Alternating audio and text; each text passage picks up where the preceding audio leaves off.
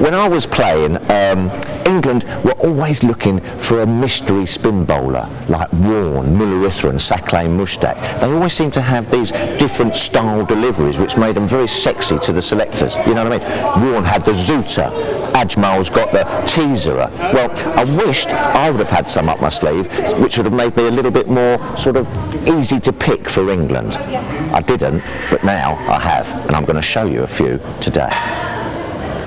Delivery number one, the Tufferer. Uh, a bog standard, or my bog standard, left arm delivery, but just sprinkled with a little bit of Tufnell dust on it before you do it. But bog standard left arm delivery. Spinning away from the right hander, hopefully.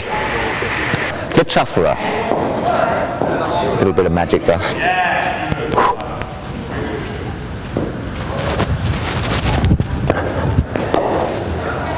Red wiggler or the black natterer, uh, christened by Alan Lamb, my first slip. It was the ball on the string which used to slightly hold, hold back and slow down in pace to draw the batsman forward into mistiming a drive or perhaps getting an outside edge to Lammy. Lammy always used to say to me, don't change the fly, Tuffers, they're biting.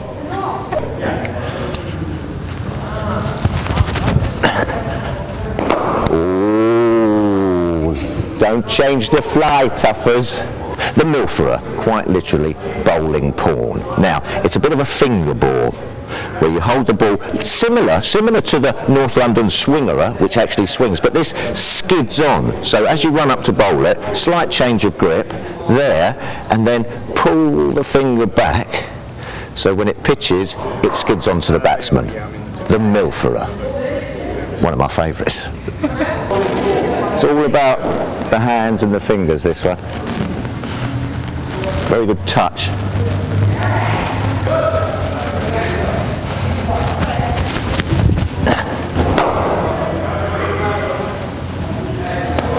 The Labradora. I've named this one in tribute to all the guide dogs up and down the country doing a fantastic job.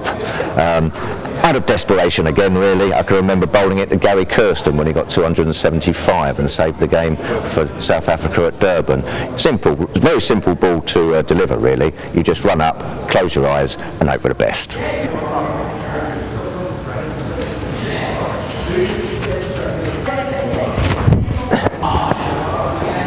Oh! See, very tricky. The blood of Vesselera um, named after the great Buster Bloodvessel. Uh, you run up, try to put the batsman off. It's, it's it, the grip's exactly the same to the uh, the orthodox left arm spin ball, um, but as you run up, you just.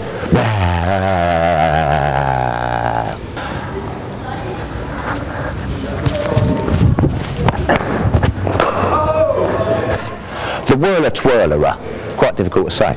Now, Whirler Twirler is again a delivery that's bowled with both arms windmilling towards the batsman, just to try and put him off mentally before you bowl the delivery. So it's quite simple as you run. This can be incorporated with the blood vesseler if you want to. You know, you can